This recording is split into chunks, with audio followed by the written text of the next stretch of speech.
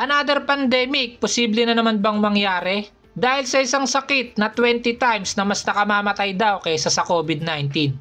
Totoo ba? So alam natin na dumaan yung buong mundo sa isang napakalaki at napakadelikadong sakit na pumatay nga ng humigit kumulang 6,971,000 as of today.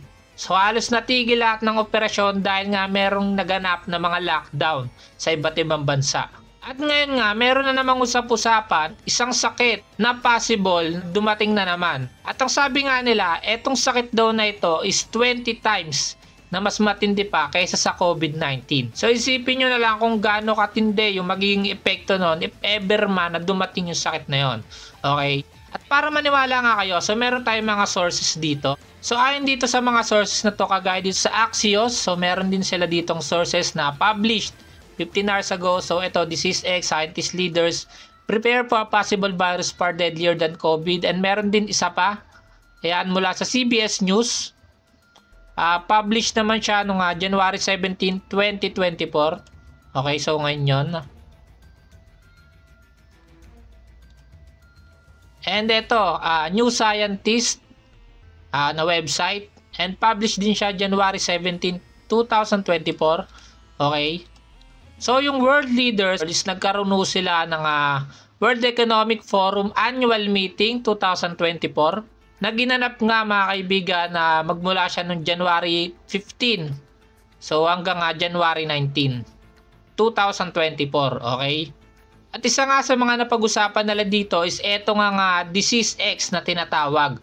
So eto pa lang yung uh, term na ginagamit nila dito sa uh, sakit na to okay at ayon nga sa mga website na to, so pinaghahandaan na nga daw nila itong hypothetical no, na paglabas na itong uh, napakadelikadong pathogen na to or sakit na to.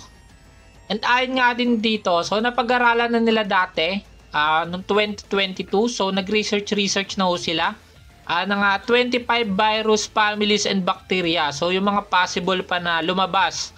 So uh, ni-research na ho nila yan at pinag-aralan nila para nga daw prepared na tayo kung sakali man na lumabas. Okay, at included na doon mga kaibigan, etong disease X na which is 20 times nga na mas nakakamatay kaysa sa COVID-19.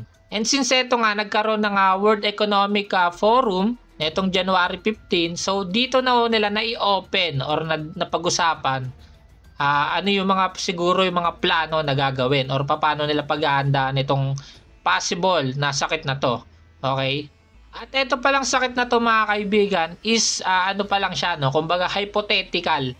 Kumbaga mga kaibigan hindi pa siya sure na may lalabas ba na ganito.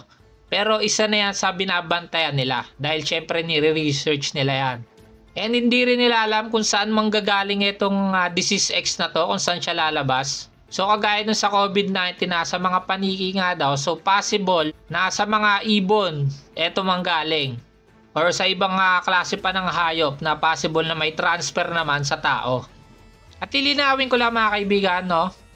Uh, etong disease X is hindi pa siya sure. So pinag-aaralan pa lang nila at uh, minamata na nila to na ito yung parang possible din. No, may chance pa rin siya na, na lumabas, okay, or magkaroon ng ganito talagang sakit.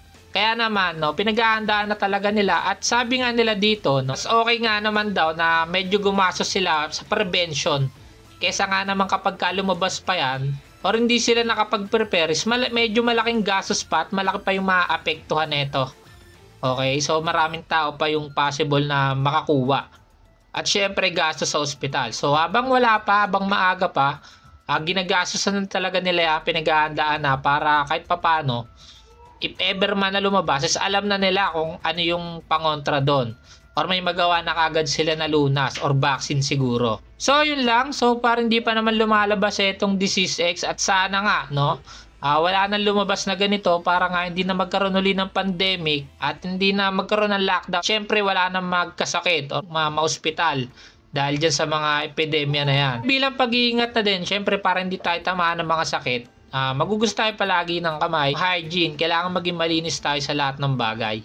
Siyempre, healthy diet, kumain tayo ng gulay or anything na may mga vitamins and minerals. Pwede tayo mag-supplement para syempre madagdagan yung uh, immunity natin or lumakas yung ating immune system. Para if ever man na mayroong mga sakit na ganito, is ah, makalaban kahit papano yung katawan natin at hindi tayo mabilis tatamaan ng mga sakit. So yun lang mga kaibigan, ayo pa nakatulong to itong impormasyon na to at itong video na to para sa lahat. So kung nagustuhan mo at ah, gusto mo pa ng mga gantong klaseng content, so pwede ka mag-subscribe. At sa Facebook natin, pwede ka rin mag-follow. Ah, Fafara yung page natin. Okay, so check nyo yan. So yun lang mga kaibigan, maraming salamat sa panonood. Hanggang dito na lang. Alright, peace.